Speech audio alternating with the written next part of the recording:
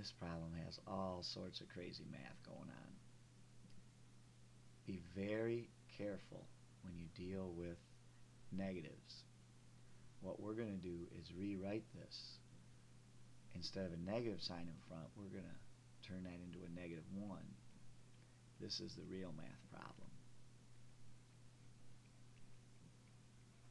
That negative 1 gets distributed to both of those terms in the parentheses. So I end up with negative 1x plus 4. Notice that's a plus because a negative 1 times a negative 4 is a positive 4 equals 2x plus 6. Now I do need to get my x terms together and I like to deal with positives whenever I can so I'm going to add 1x to both sides do the inverse operation on that side. And that'll make my math a little easier on this side. When you add 1x to both sides the 1x terms cancel right there and I end up with 4 equals 3x plus 6 as you know I don't like to have my x on the right side so I'm going to switch it around and make it 3x plus 6 equals 4 now I'm really just left with a two-step equation the first inverse operation is minus 6 from both sides. And those 6's will cancel. That leaves me with 3x over here and a negative 2 over here. The inverse operation for 3 times x is to divide by 3. And when you do that, you know those 3's cancel. And we are left with 3 equal, or x equals, that's not right, uh, negative 2 over 3, we're just going to leave it as negative 2 thirds. Okay. Last but not least, some formulas. This problem, they actually want us to solve for n. I didn't write that in here, but that's what we're solving for. Now, we learned a shortcut which I'll mention in a minute. But let me go ahead and show you the math on this. The variable that we're trying to solve for is n, and you can see it's located right here. It's 360 divided by n, and so the inverse operation is going to be to multiply both sides by n. There are other strategies, but this is the one that fits with what we've been doing. In that case, we end up with n times c equals 360. As you know, these n's cancel. Okay, now we have n times c equals 360. We want to end up with n equals, so we have to do the inverse operation for n times c, which is to divide by c on both sides. And when you do that, the c's cancel.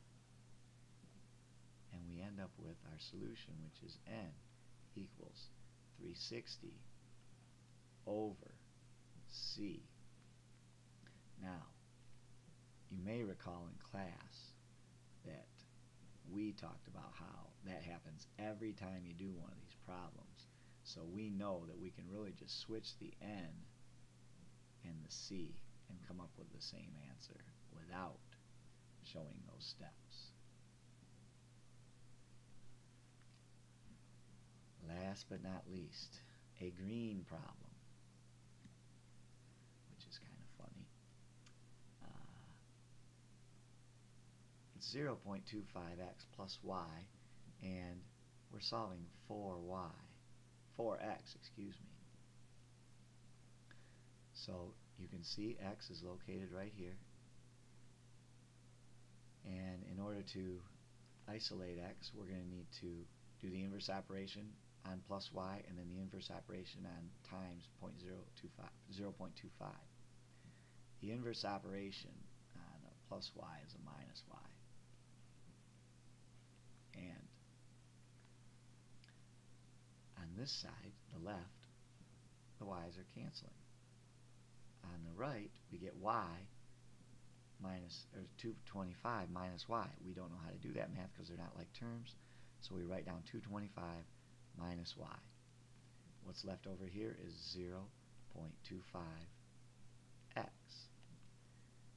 The inverse operation to get the, x, the 0.25 out of there is to divide by 0.25 on both sides. When you divide a quantity where there are two or more terms, you have to pretend there are parentheses in there and divide the whole doggone thing by 0.25. Okay? And so, many of you may write the answer like this.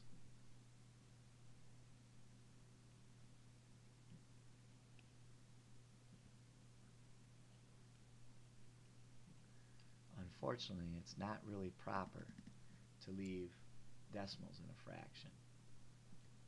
So what we're allowed to do is divide 225 by 0.25 and 1 by 0.25 and write those terms separately. 225 uh, divided by 0.25 I believe is 900 and 1 divided by 0.25 is 4. And so this is really the solution for x equals